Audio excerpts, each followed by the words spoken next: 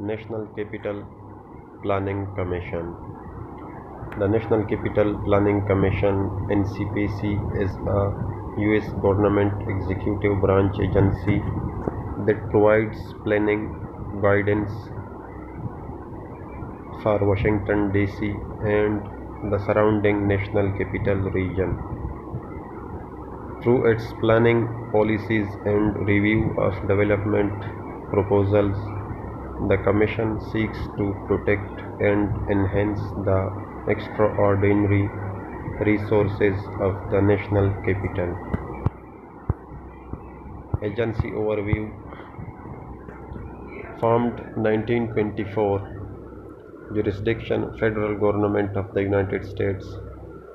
Headquarters 401 9th Street NW Suite 500 Washington DC Employees 35 Agency Executives Elizabeth A.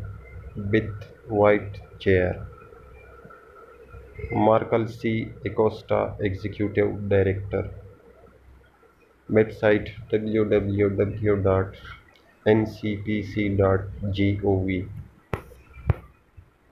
The 12-member commission includes three presidential appointees of which one must be from Virginia and one from Maryland.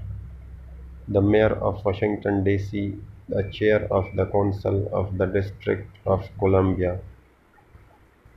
Two mayoral appointees and the Chair of the House and Senate committees with review authority over the district.